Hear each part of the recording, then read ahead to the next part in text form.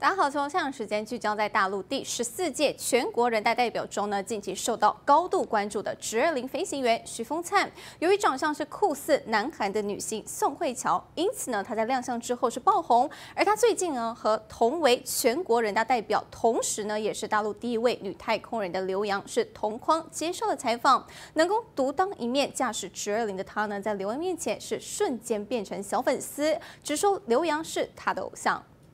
刘洋师姐是我的偶像，嗯，今天见上台非常激动。未来呢，我们还会面向国际上招收国际上的航天员，和大家共同携手并肩飞向太空。嗯，那我也有机会吗？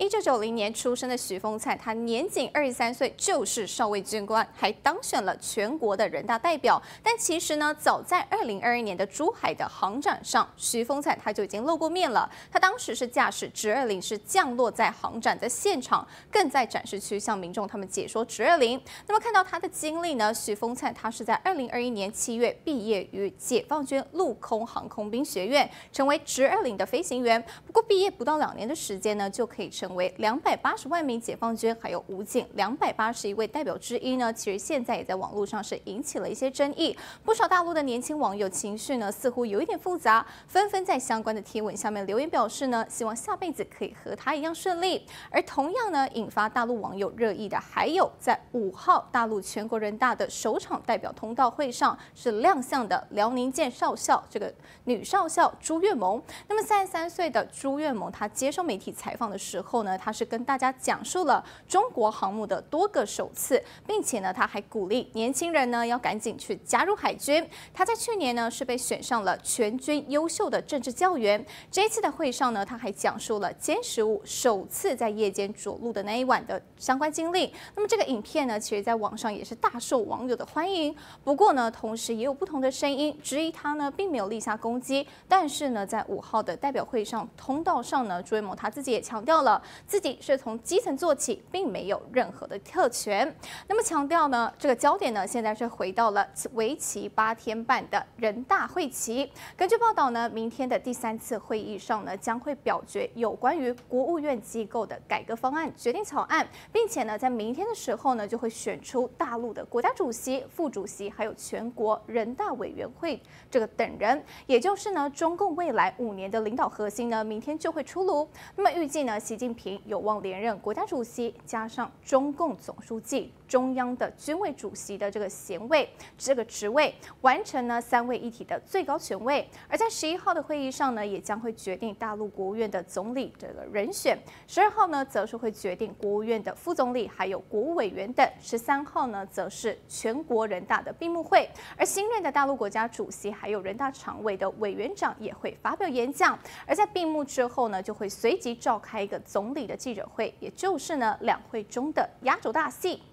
那么接下来呢，是看到过去三天在希腊各地发生的一个抗议活动。这个事件的起点呢，是在二月二十八号，是一列呢载有三百五十名旅客的一个火车是相撞了一列货运列车，酿成了五十七人死亡的一个悲剧。那么整场事故呢，起点是因为希腊历来呢是最严重的一个列车事故。当天的那个车展呢，他就承认了，是因为呢其中一辆列车是忘记变换轨道，所以才会导致意外的发生。那么尽管站长。现在已经遭到逮捕了，并且是以过失致死罪的这个起诉了，但是呢，依旧是引爆了全国的怒火。昨天晚上呢，第二大城的街头抗议民众，他们是朝镇压警察丢掷这个汽油弹，警方则是以催泪瓦斯来回击，场面是相当的混乱。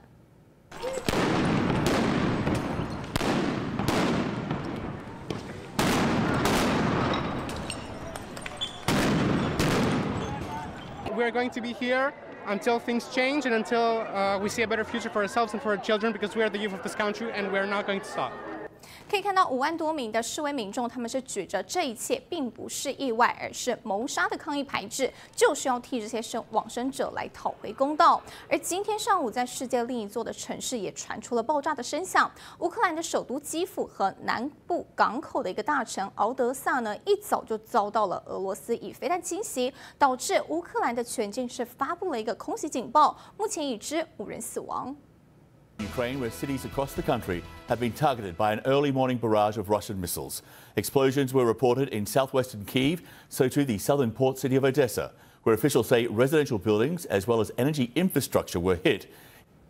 俄乌战争去年二月延续到现在，已经超过一年。经过长达好几个月的激战之后呢，俄罗斯的佣兵组织瓦格纳集团首脑呢是在今天宣布，他们是完全拿下了巴赫姆特这个东部的地区，持续的往西来进攻。尽管乌克兰还是坚持不会撤退，不过呢，消息指出乌军已经开始往巴赫姆特西边十五公里处来挖壕沟，似乎就是在准备作为退守的新防线。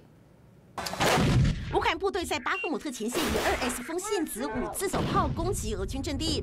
俄军对巴赫姆特的主要攻势自去年八月展开，是开战以来最血腥冗长的一战。俄罗斯佣兵组织瓦格纳集团首脑八号宣称，俄军已经占领了巴赫姆特东部。乌国总统泽连斯基警告，若失去巴赫姆特，敌军就能够长驱直入，打通一条通往乌克兰其他城镇的道路。北约秘书长坦言，巴赫姆特可能几天内就会失守，但是也强调，这不代表战。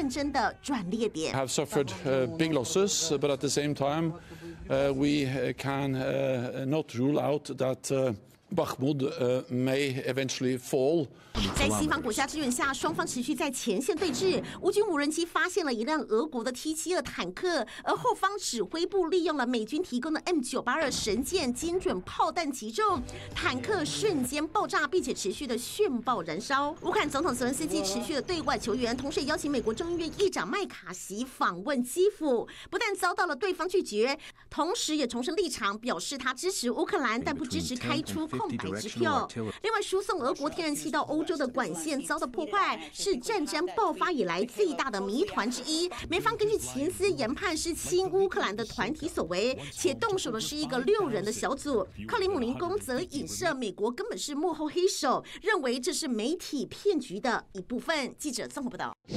上这个梦梦水独家配方起入入睡关键，舒眠的元素能够安定舒缓神经，让你身心达到放松。当中有茶氨酸调节情绪、增强抗压能力，还有德国洋甘菊萃取物可以疏解焦虑、帮助睡眠。睡前呢三十分钟来一包梦梦水，白桃风味，酸甜好喝。